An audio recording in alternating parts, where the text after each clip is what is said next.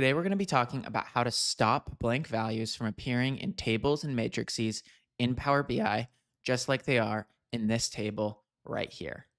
So with that said, let's jump into Power BI and let's get working. So here's the table visual that we're trying to fix. As you can see, we have a blank value right here in shoe type, and we have a blank value right here in units returned.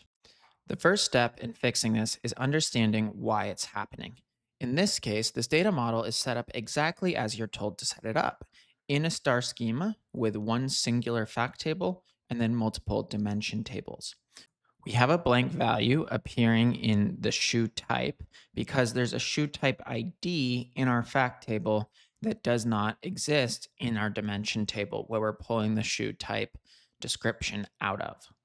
We have a blank value appearing in the units returned measure because if we switch over here to table view, you'll see that we have null or blank values in the units returned column. But there is a value populated in the unit sold column, which means whenever a table or a matrix has both a column that's summing units sold and a column that's summing units returned, we'll get a blank value for units returned. Now, I have two measures pulled over into this table. I have one that's just mm. summar summarizing units returned, and I have one that's summarizing units sold. My first mm. instinct in trying to fix this shoe type value and these blanks in the units returned is to use a coalesce function. So right here, I have units returned coalesce, comma zero. And what this will do is if this first value is blank, it will return zero. So let's take a look at what happens when we go ahead and we drag this into the data model.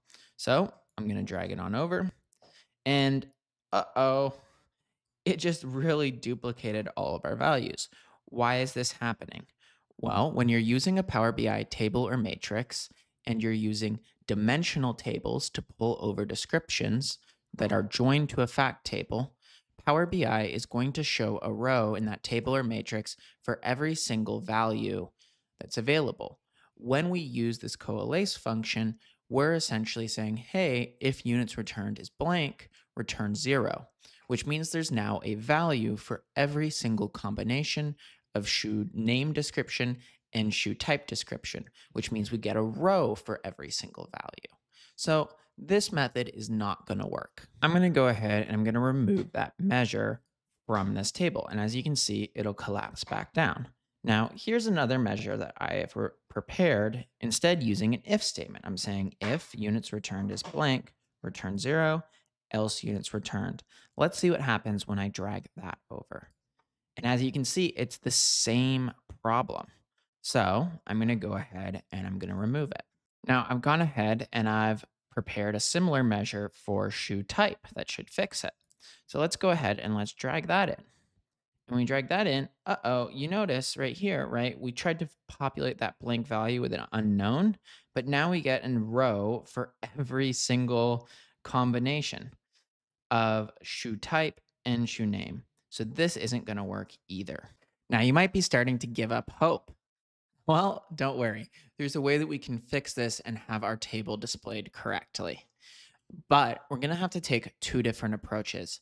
Fixing the dimensional column in the in the table is going to be a little bit more difficult. So let's start with fixing the units returned, which is just simply a measure. And we're going to do that with visual calcs.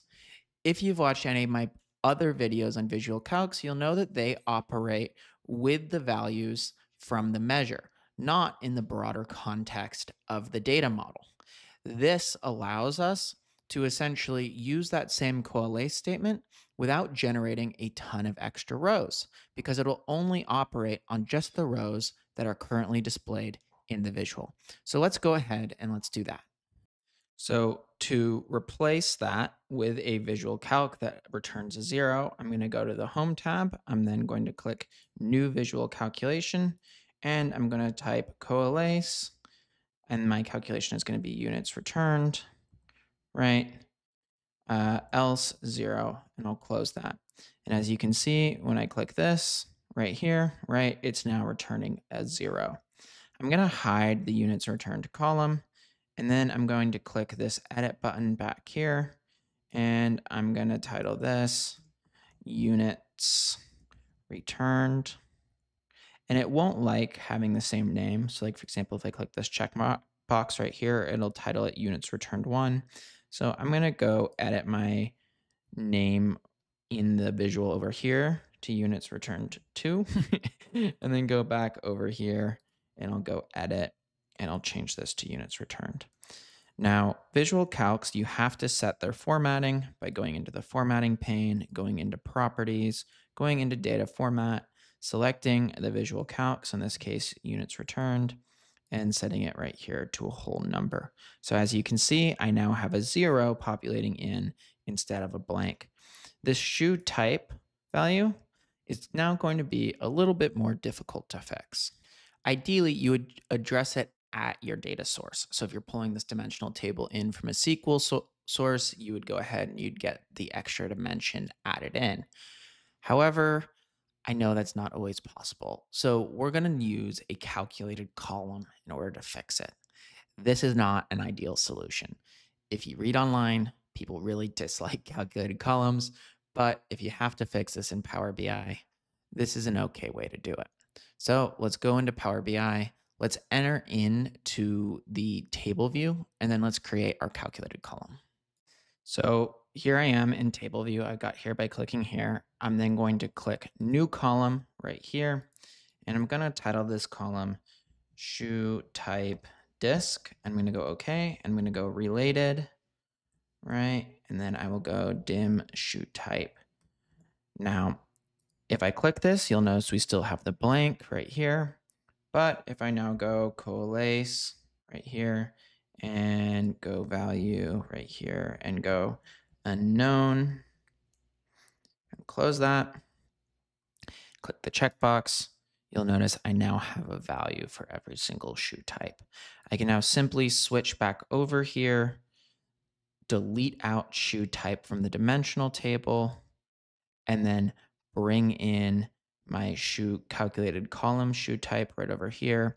And as you can see, I now have all of these values. I can just simply remove this to shoe type. And just like that, here we are. We now have a table value that used to have two blanks, but now has none at all. So if you enjoyed this video and are interested in business intelligence, please subscribe, give it a like, and a comment. Thanks for watching. I hope you have a good rest of your weekend. At least it's it's a weekend right now.